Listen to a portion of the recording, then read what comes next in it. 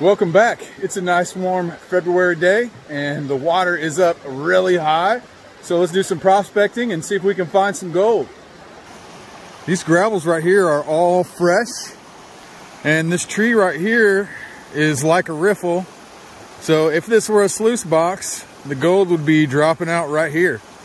So this is where I'm gonna start on this little brand new gravel bar right here and see what we can find.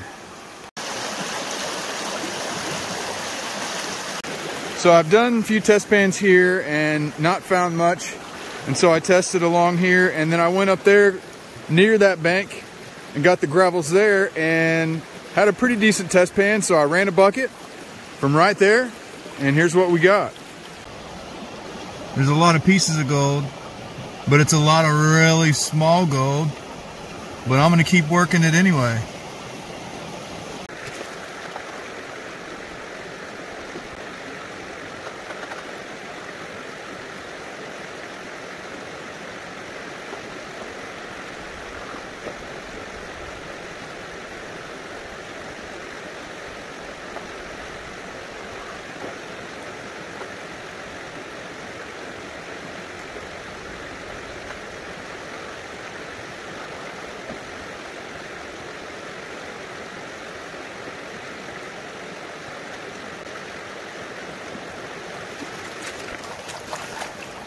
This one looks like it's got a lot of iron in it.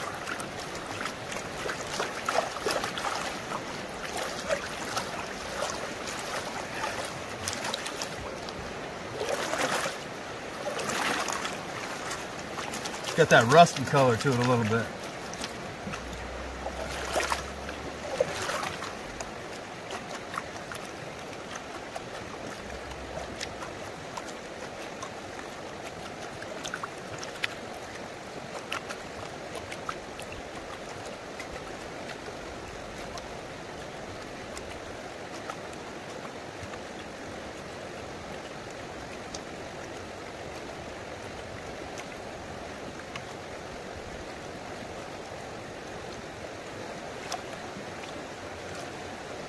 Let's see what we got.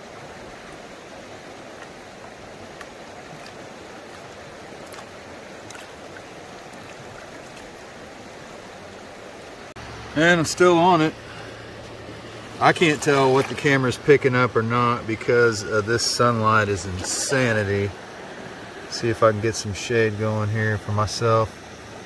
But look how many specks in this pan. That's what I'm talking about. That's a pretty good speck count right there. That's a test pan if you ask me. Nice.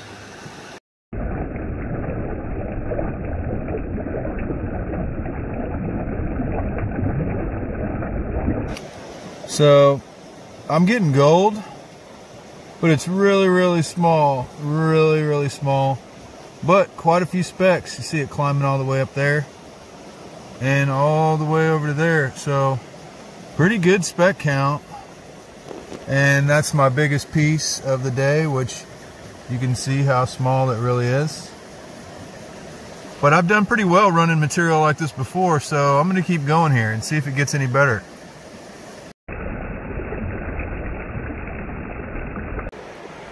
Every now and then I get a decent sized little flake like that, but not very often. Most of them are super tiny compared to that even.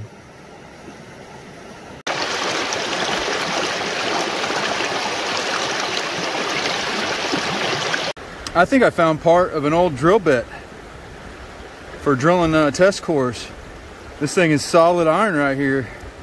So I'm definitely digging where the heavies are, that's for sure.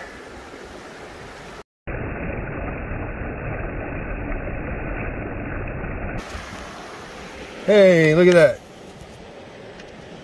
Got the biggest piece of the day right there. Not bad. And uh, we got a decent amount of colors in there too. Let's see if I can. I can't even see because of the sun, so hopefully it's picking them up because I can't see anything.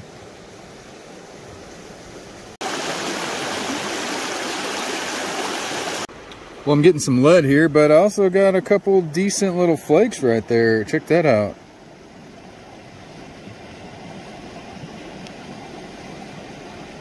See if I can feel them.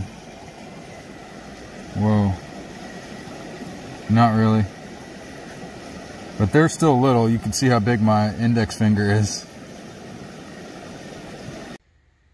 Well, I dropped my phone in the creek last week. Um, so I put my phone away and just speed pan through as many buckets as I possibly could and took all the black sand home and cleaned it up. So let's go check it out and see what we got.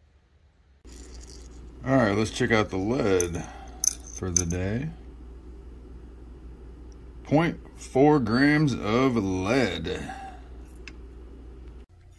So the material is classified down to 50 mesh because uh, the vast majority of my gold is under 50 mesh. So hopefully uh, this will give us a pretty good capture rate.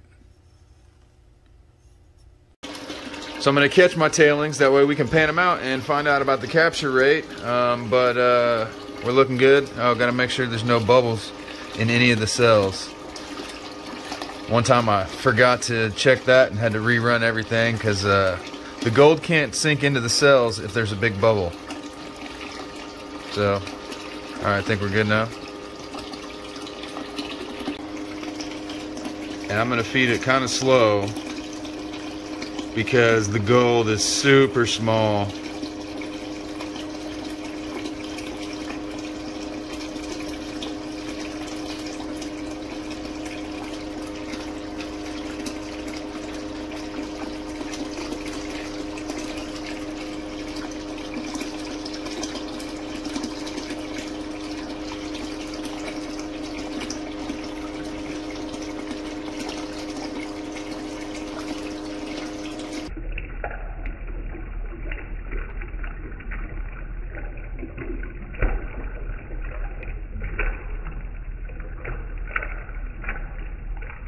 Now, if I'm not mistaken, there might be some gold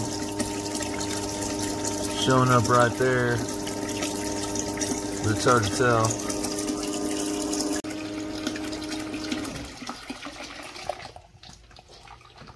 All right, let's look and see if there's anything visible in here or not.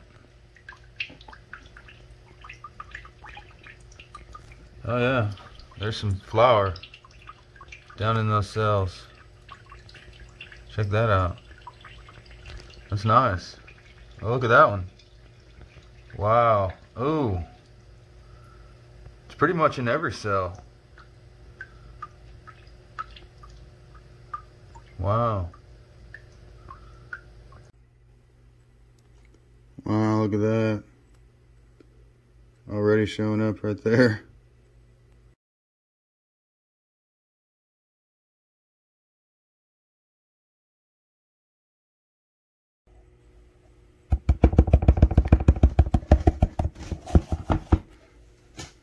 Wow.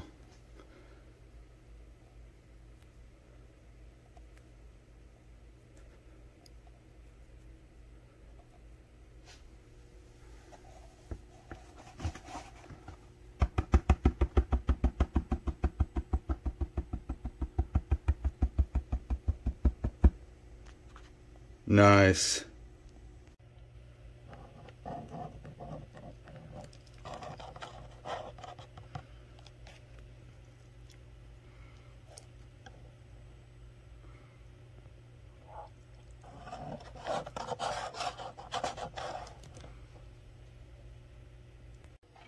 All right, let's run it one more time and see how much we get.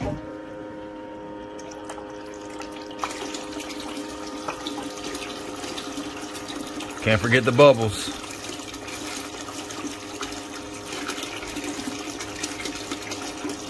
Sometimes it's hard to get the bubbles out. All right, there we go.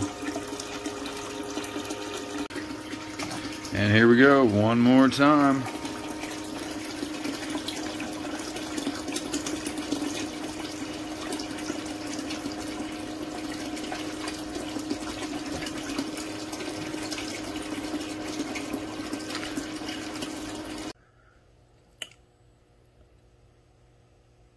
Here is what we found in the tailings on the second run.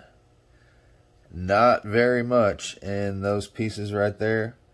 Even though there's several, they're very, very, very, very small.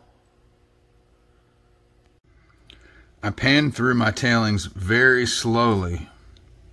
So this has already been run twice through the Dream Mat, cleanup sluice, and there's a couple thousand pieces of gold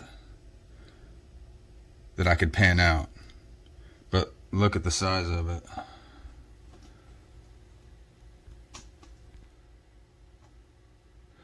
So two runs through the Dream Mat did not catch this, but can anything catch it? I don't know. There you go. I got it spread out a little bit. I mean, it's really hard to convey how small this stuff really is to the naked eye. You cannot see the individual specks with the naked eye. But there's thousands, thousands of colors in my tailings. So the gold's basically clean. I just dumped out the snuffer bottle. And that's what it looks like before I tap it up. Looks pretty good.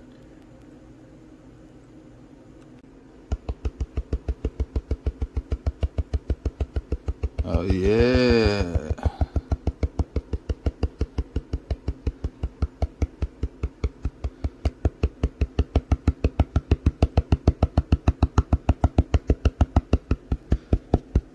That's looking pretty good right there, I would say. Wow, there's my hand for size reference. It's decent.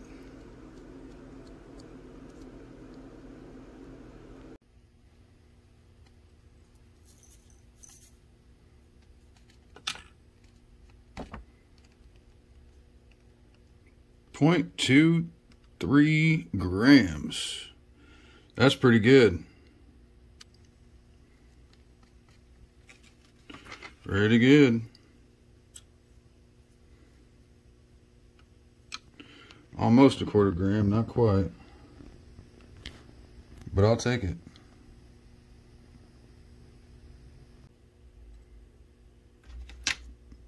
And for 2023, 1.006 grams for the year so far. Not bad. So I want to be really clear about this. I said that I lost thousands of pieces of gold in the cleanup mat, and that's not a knock on the Dream Mat because if you were to calculate the capture rate, I'd say it's pretty close to 99%. So that really, really tiny gold, I don't think any mat can catch 100% of it. You just got to run your cons multiple times and pan through it slowly. Well, I'm going to hike on back to my spot and get some gold for uh, next week's video, but I appreciate you watching. Please like, comment, share, subscribe, and join the Patreon, patreon.com forward slash rookie gold prospector, and I'll see you next time.